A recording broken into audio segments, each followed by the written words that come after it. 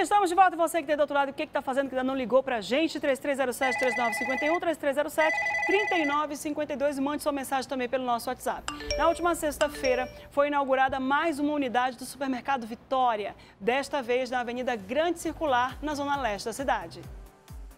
Filas quilométricas, carrinhos cheios e clientes satisfeitos. Foi assim a inauguração de mais uma unidade do Vitória Supermercados, na Avenida Grande Circular, zona leste da capital.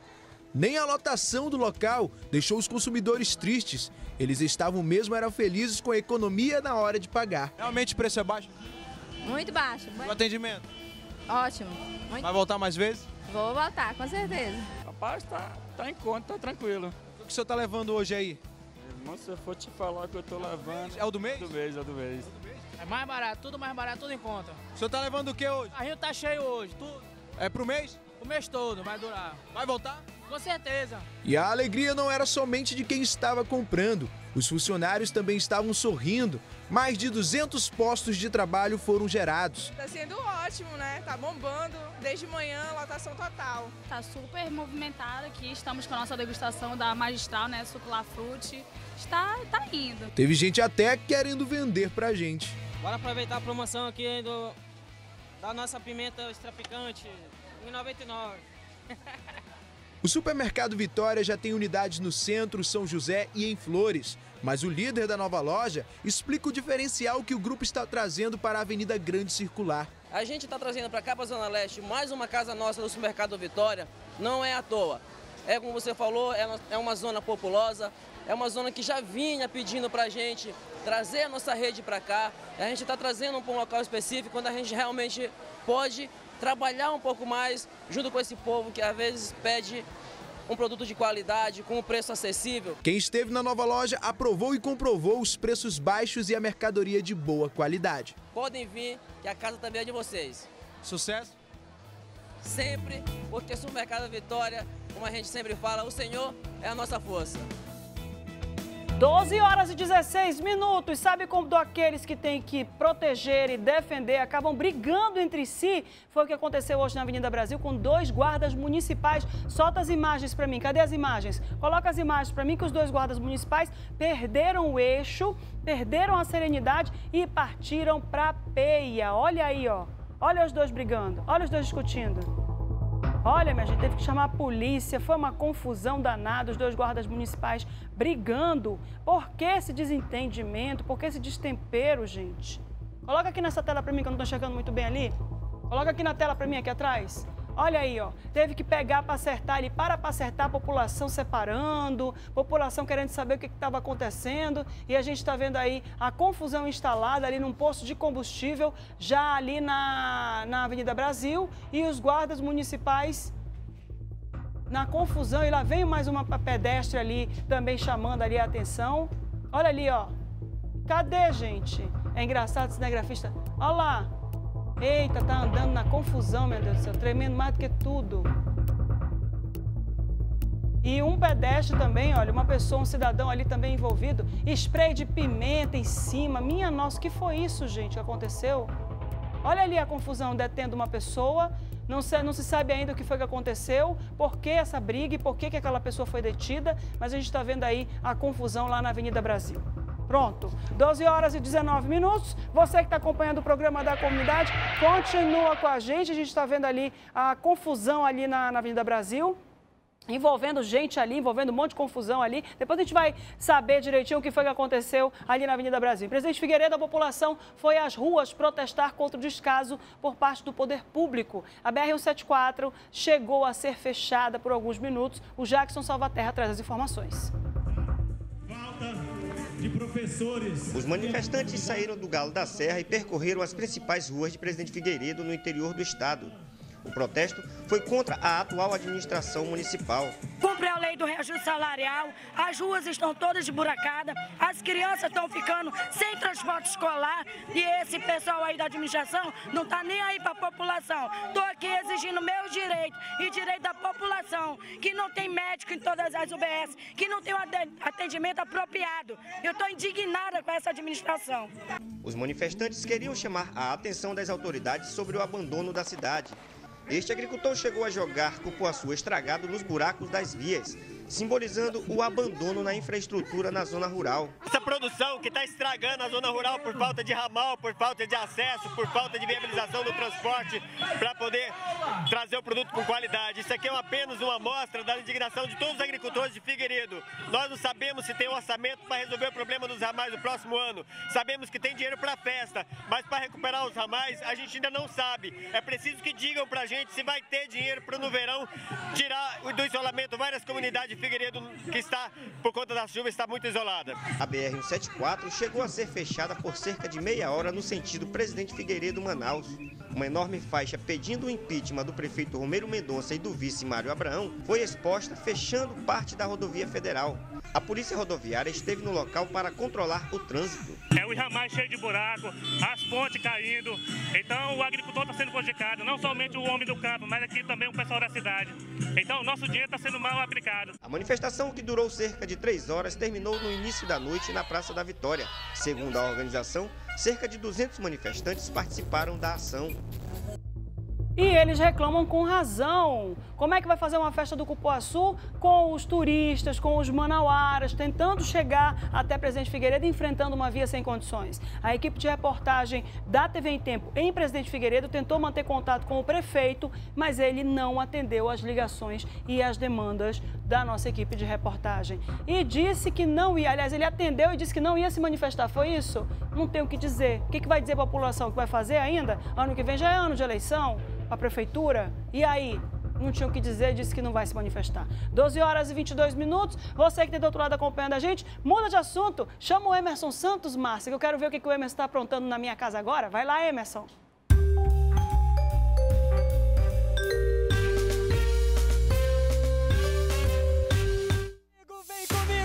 Eu estou aqui no Braga Mendes, aqui na Zona Leste de Manaus, aqui o quadro Na Minha Casa Agora. Isso mesmo. Eu estou aqui na casa da telespectadora. Vem cá, minha amiga, vem cá. Qual é o teu nome? Luciara. Luciara. Você mora quanto tempo aqui no Braga Mendes?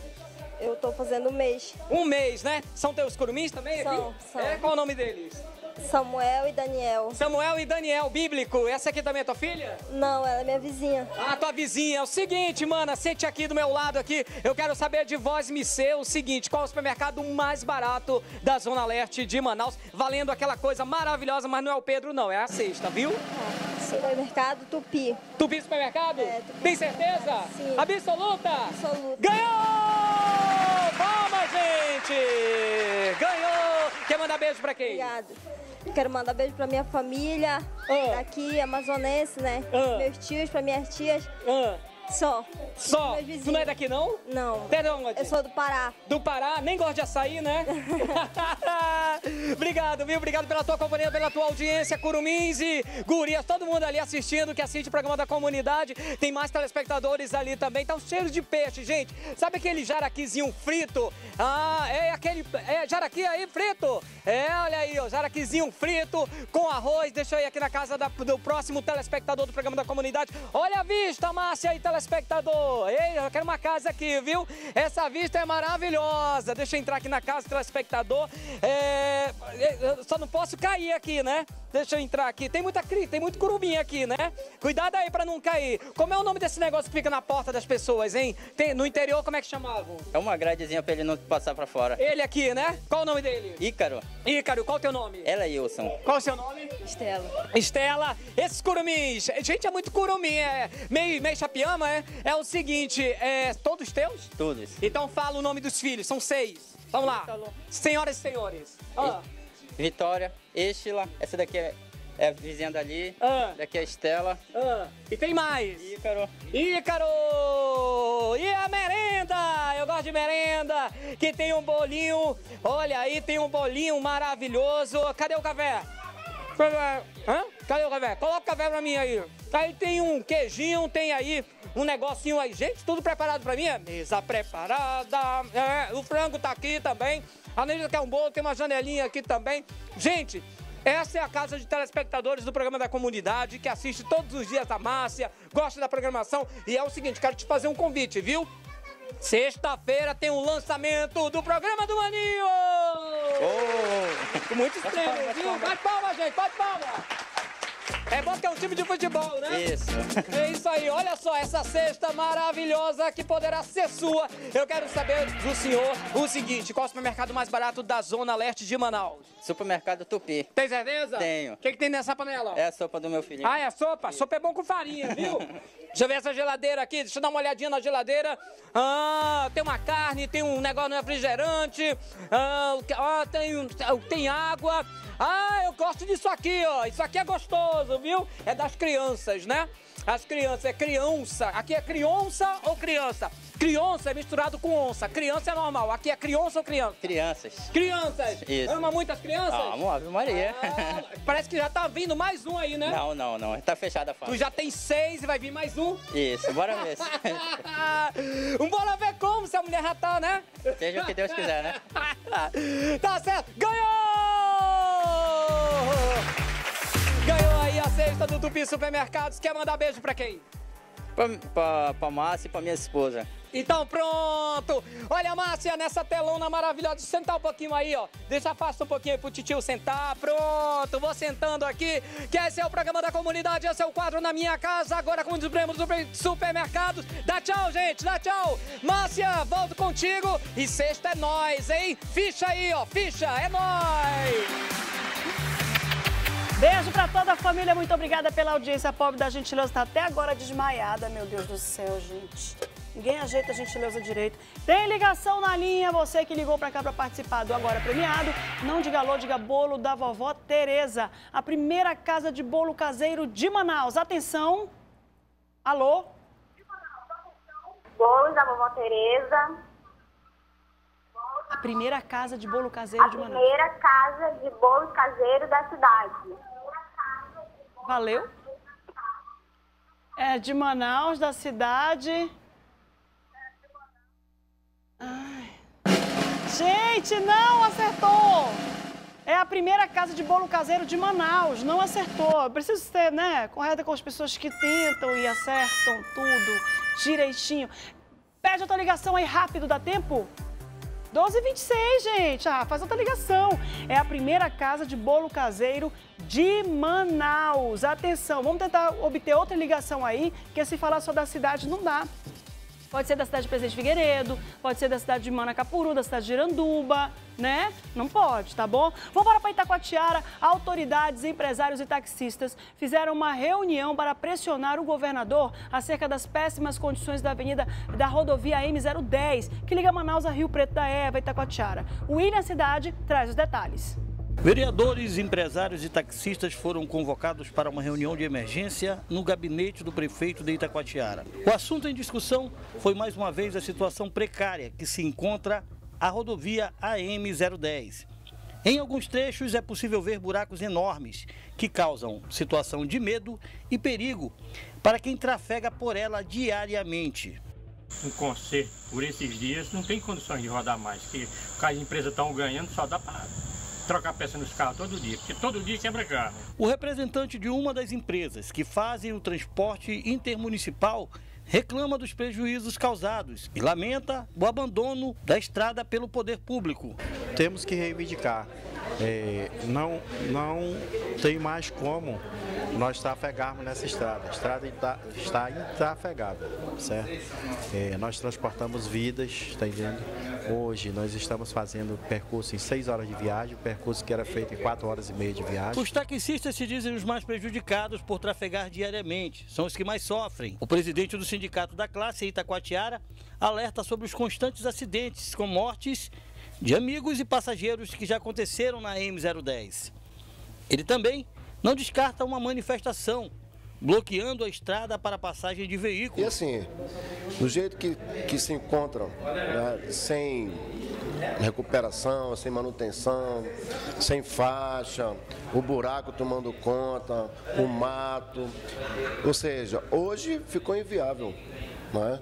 Hoje a gente trabalha numa estrada perigosa, como já foi dito no passado, né? a estrada da morte. A estrada do Amazonas, a M010, é considerada fora a estrada da morte. né? Nós estamos vendo que, pelo caminho da coisa legal, com solicitação, não, não está funcionando. né? Estamos ficando de escanteio.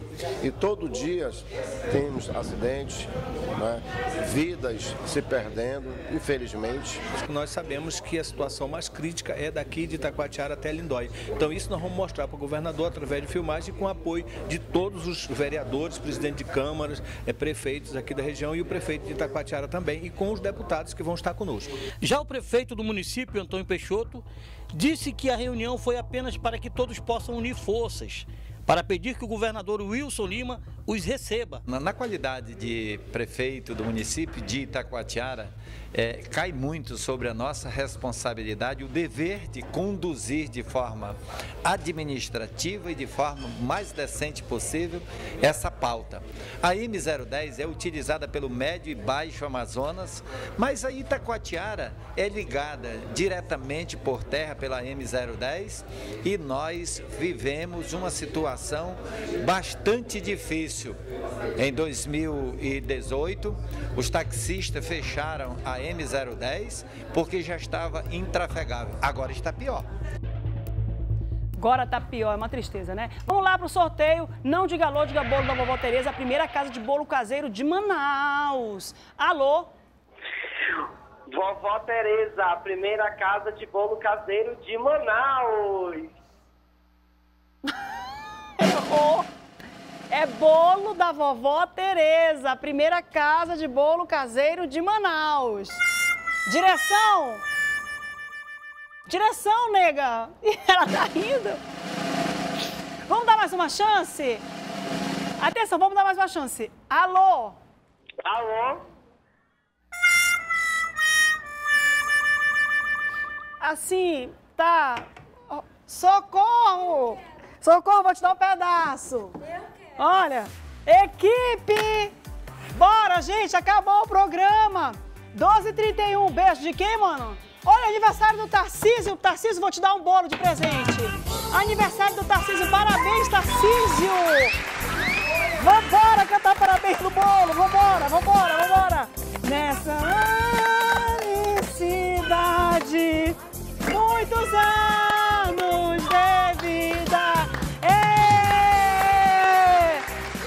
Sopra a vela, vai. Pronto, viu? Vai, assopra de novo. Pronto, assoprou. 12h32. Socorro, é contigo. Tchau, pessoal.